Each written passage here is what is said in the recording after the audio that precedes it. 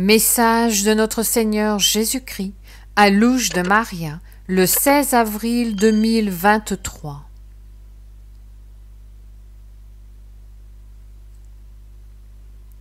Mes enfants bien-aimés, en ce grand jour où l'on célèbre la fête de ma miséricorde, je vous invite à méditer sur cet appel.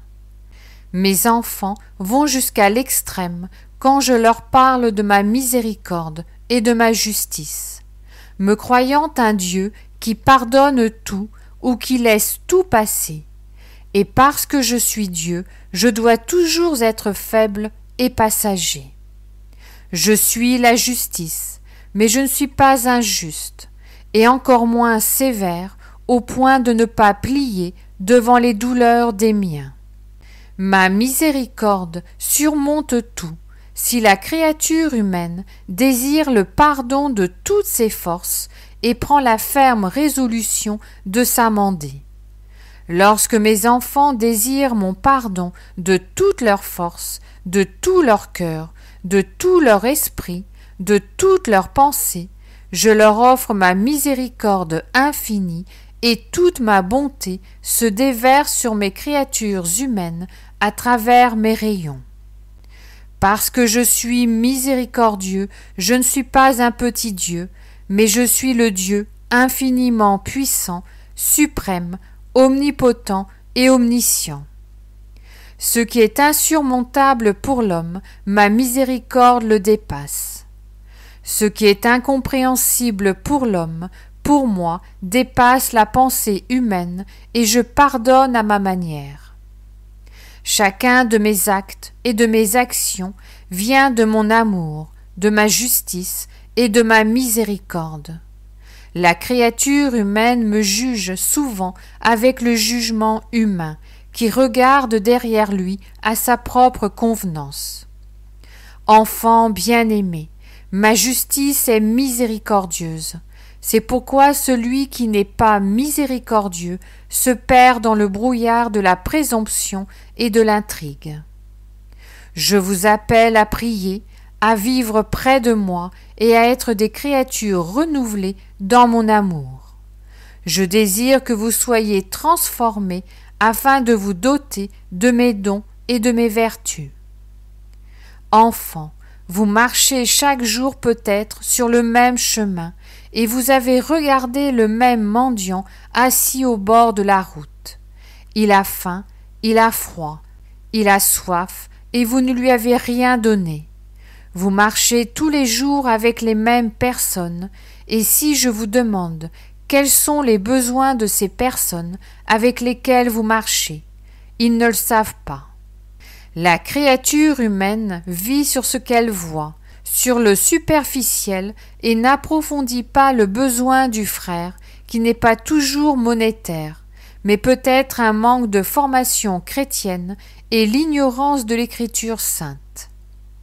Les enfants, vous passez tant d'heures devant les ordinateurs et les télévisions, et vous êtes ignorants de tout ce qui touche à l'humanité.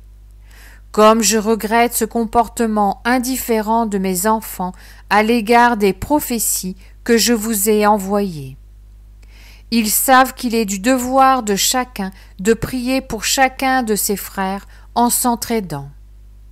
Ma mère et Saint Michel Archange, par la volonté divine, vous ont donné les avertissements afin que vous puissiez vous préparer et ne pas vous égarer. Vous êtes au moment d'accroître votre foi et de vous tourner vers ma divine miséricorde. Enfant bien-aimé, quelle est votre foi? Comment est votre foi? Où est votre foi? Tant de mes enfants me laissent de côté, m'abandonnent. C'est le moment pour vous de vous tourner vers la foi, d'être fidèle et de goûter à ma miséricorde. Je vous bénis, mes enfants, je vous aime.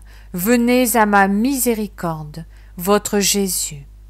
Je vous salue Marie, très pure, conçue sans péché. Je vous salue Marie, très pure, conçue sans péché. Je vous salue Marie, très pure, conçue sans péché. Commentaire de Louche de Maria. Frères et sœurs, je vous invite à méditer les messages suivants. La très sainte Vierge Marie, le 27 juin 2009. Enfants, chacun doit marcher avec la conscience des bénédictions constantes qu'il reçoit de la maison du Père, conscient de la divine miséricorde qui vole constamment du ciel vers la terre, afin que tous les hommes aient la grande bénédiction d'avoir à leur portée toute l'aide dont ils ont besoin pour surmonter les épreuves et les épreuves de chaque jour avec la santé spirituelle. La très sainte Vierge Marie, le 15 octobre 2009. Je vous invite à ne jamais vous lasser de témoigner de l'amour divin qui vous habite. Faites confiance à Dieu, à sa miséricorde, et vous verrez sa gloire. C'est le moment de plier les genoux, prier, prier sans vous décourager, pour que mon Fils vous donne un grand avertissement. Préparez-vous pour ce grand jour de miséricorde. Préparez-vous, car le malin guettera les tièdes qui ne restent pas fortifiés. Notre Seigneur Jésus-Christ, le 24 janvier 2016. La religion sera ébranlée. Le péché, en entrant dans mon Église, aura fait des ravages, à cause de la folie de ceux qui n'obéissent pas, ne m'ont pas connu et m'ont rejeté. Ma maison sera traitée avec irrévérence lorsqu'ils confondront ma miséricorde avec la transformation de la loi divine, pour l'adapter au manque de respect constant d'une génération impitoyable. Amen.